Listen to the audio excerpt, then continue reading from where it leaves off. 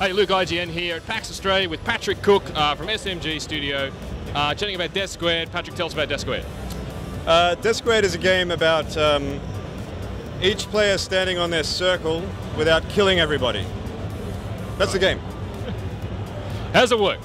Uh, well, generally a level has uh, a lot of things mechanically mapped to your movement, um, or the process of standing on the circle itself, which does kill everybody.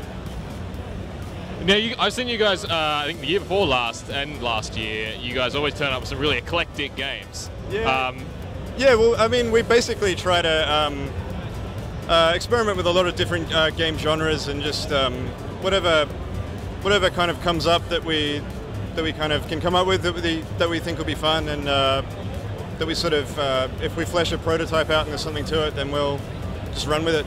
And uh, that's why we've got um, mobile games of different kinds. Uh, we'll have this game. Uh, we've got a strategy game on Steam as well. So we're just kind of like, we're just kind of doing the stuff that is fun at the time and just rolling with that. what's your reaction been this morning? I know you've been here for half a day now, and the lines have always been quite long. Uh, what's the reaction been? It's the direction's good. Um, what I really love about this game is it's funny to watch uh, because uh, everything's kind of unexpected. Every level has a different kind of uh, mechanical situation that you need to kind of learn and navigate, and eventually it kind of clicks, and you're like, okay, everyone knows what they've got to do, and uh, we can we can survive. And then you move on and do it all again. All right, so when are we going to be able to play this? Uh, I'm hoping to have it on Steam uh, mid 2016.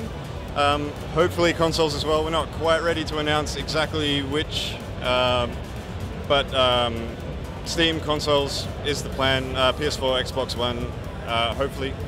Uh, Awesome. So yeah, that's that's that's where we're at. Um, we've got another sort of eight nine months to go. I think. Hopefully. All right, cheers, man. Thank you very much.